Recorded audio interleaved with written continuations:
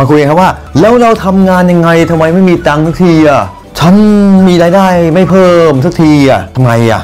ตอบให้เลยครับว่า ผมยกตัวอย่างเช่น คุณมีรายได้ประมาณชั่วโมงละ 100 บาทก็แล้วกัน 10 ชั่วโมงก็คือ 1,000 บาท คุณจะทำงานยังไงครับ ให้คุณมีเงินเกิน 1,000 บาทครับ 1,000 บาท 10 ชั่วโมงให้คุณทำ30 วันคุณได้ 30,000 ถูกไหมฮะ คุณจะทำยังไงให้คุณมีรายได้มากกว่า 30,000 ครับ คนธรรมดาเป็นวิธีการยังไงครับทำงานให้เพิ่มมากกว่านั้น เช่น วันหนึ่งทำงานวันละ 10 ชั่วโมง คุณทำงาน 11 ชั่วโมง ก็จะมี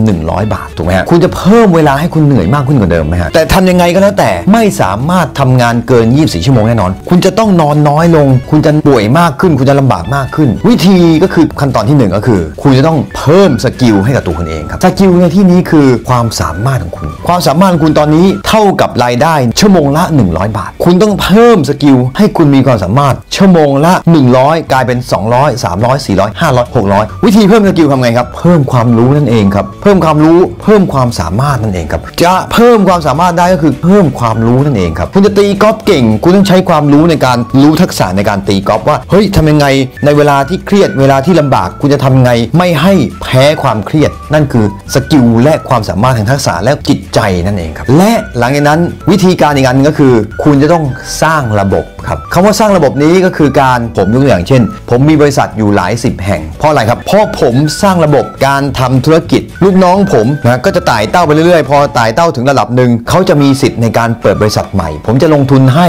และเขาจะมีรายได้มากกว่าผมในสาขาแต่ที่เขาดูแล และสาขาที่เขารับผิดชอบอยู่ ดังนั้นทุกสาขาจะมีคนที่มีรายได้มากกว่าผมแต่ผมเป็นเจ้าของทั้งหมดเลย ผมจะมีรายได้รวมทั้งหมดแล้วจะเยอะกว่าคนอื่น แต่ว่าแต่ละสาขาแต่ละสาขาเขาจะมีเงินเยอะกว่าผมครับเพราะฉะนั้นถ้าคุณสร้างระบบแบบนี้เป็นทุกคนจะเป็นเจ้าของร่วม ทุกคนจะมีรายได้เพิ่มขึ้น เพิ่มตามไปเรื่อยๆ ดังนั้นผมอยู่เฉยๆบริษัทจะเพิ่มขึ้นเรื่อยๆ ดังนั้นรายได้ของผมมันมากกว่า skill ที่ตัวเองมี แน่นอนผมมี skill เพราะผมต้องเพิ่ม skill หนึ่งผมเพิ่ม skill ผมมี skill มากขึ้นด้วย ผมจะเก่งขึ้นทุกวันเพราะผมอ่านหนังสือ ผมผมเรียนหนังสือทุกวัน และผมสร้างระบบเป็นนั่นเอง แล้วเพื่อนๆรู้ไหมว่าวิธีีการสร้างระบบในการขายให้เป็นสร้างระบบทำให้คนร่วมกันทำงาน สร้างระบบต่างๆ นี้รู้ได้ไงครับ ก็คือการทำธุรกิจนั่นเอง คนส่วนใหญ่ทำธุรกิจแล้วประสบความสำเร็จหรือเปล่าครับ 95%พลาดครับภายใน 5 ปีจะเจ๊ง